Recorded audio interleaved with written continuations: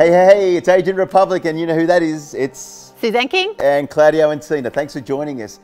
Susanne, today we're going to talk a little bit about vendor management Yes. and the process, um, because it is a process, right? Yeah, definitely. So, um, well, it should be a process. It should be a process, and it's you know it's it's having a framework around it, and I think a lot of agents can sometimes get a little bit lazy or you know not really have the framework. They know it, but they're not doing it Mm. Yeah. around the vendor management. And it's all about like setting the vendors' expectations through the sales campaign, right? Yeah. So I suppose a couple of things that you could maybe talk about the vendor and what they should Mm. be expecting, and, and what the agent can do to.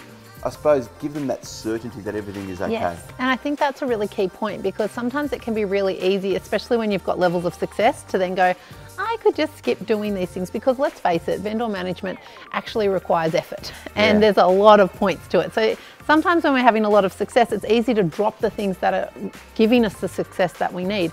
And the other thing too is like that's where we sometimes find the guys they're like, oh my gosh, you know, business is slow. Yeah. And it's not because business is slow now, it's usually because back track a few months they stopped doing the things that were important.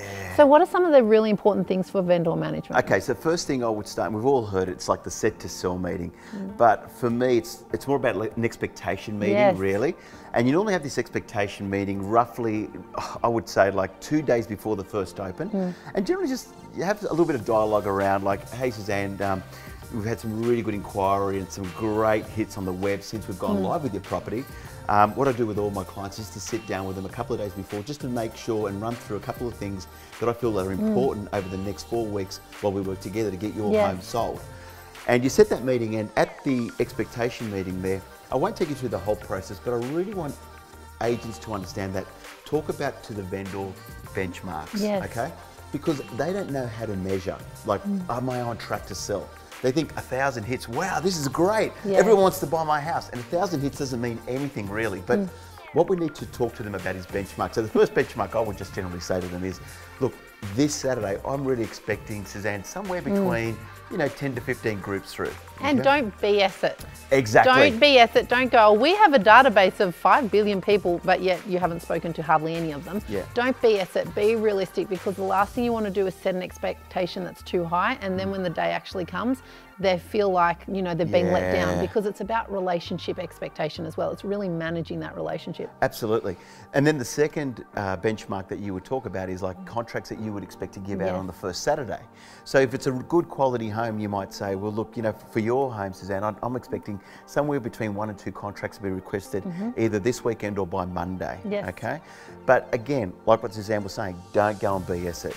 Be absolutely truthful. A home like that, you should get one to two. Exactly right. If it's a unit in Bondi and it's you know listed at 800,000, you know that you'd probably get like six to 10 contracts hmm. out on a weekend.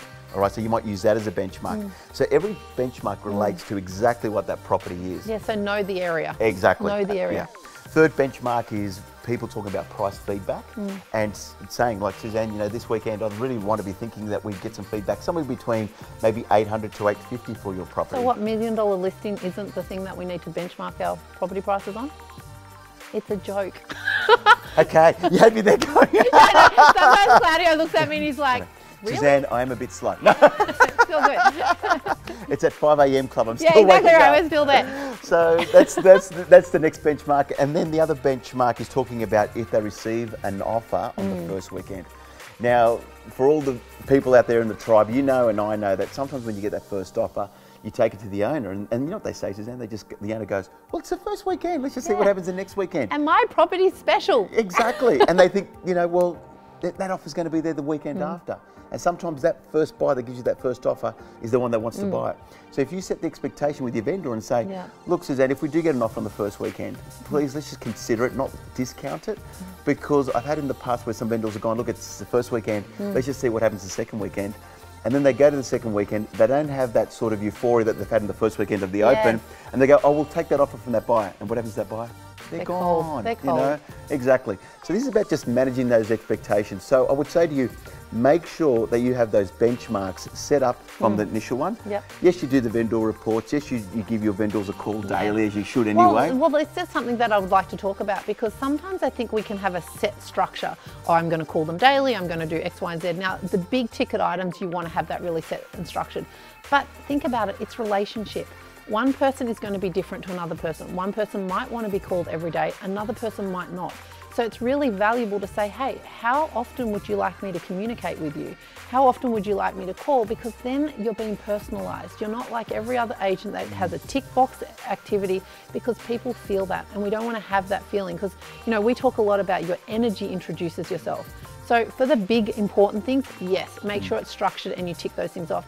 But then for some of the other ones that have a bit of flexibility around them, actually ask the question, how often would you like to hear from me? And then obviously do that. And you might even want to educate them and say, look, you know, most people like to hear from me daily because of X, Y, and Z.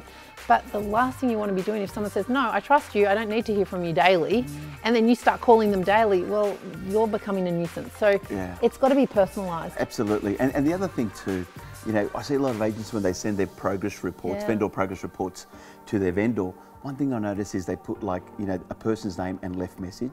Now I've got to tell you guys, like if I was a client and yes. I saw, and I'm paying you like $20,000 commission, yes. and out of the 30 people that came through on Saturday and 15 of them you had LM left message, I'm going to be like really upset with you. I'm yes. paying you to contact these people and get some really good quality feedback.